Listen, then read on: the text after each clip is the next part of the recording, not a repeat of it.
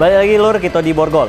Nah ini ada berita tentang larangan melintasnya truk batubara yang non BH atau tidak menggunakan plat BH atau plat luar dari BH itu dilarang. Kayak mana beritanya? Kita pantau di pantauan Bang Jack.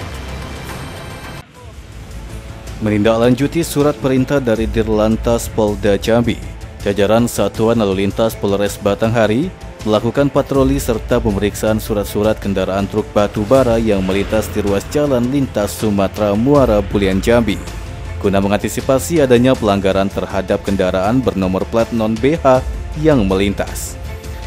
Kepala Satuan Lalu Lintas Polres Batanghari, AKP Sudiharsono mengatakan, Sesuai tindakan tegas yang berlaku, pihaknya akan menghentikan aktivitas pengendara truk batu bara tersebut dan melaporkan ke Dirlantas Polda Jambi untuk melakukan pengurusan izin operasional di Provinsi Jambi.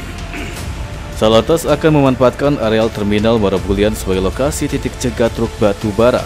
Bila ditemukan angkutan batu bara yang non-plat BH, akan dihentikan operasional sebelum mengurus izin operasional ke Dirlantas Polda Jambi penertiban kendaraan batu bara eh, non BH.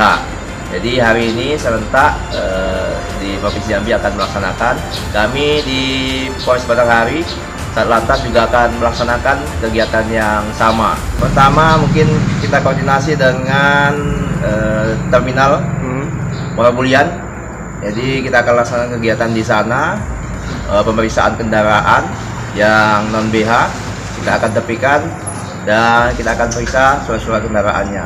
Untuk kendaraan kita akan hentikan dan mengarahkan sopir ataupun pemilik kendaraan untuk mengurus surat izin melapor.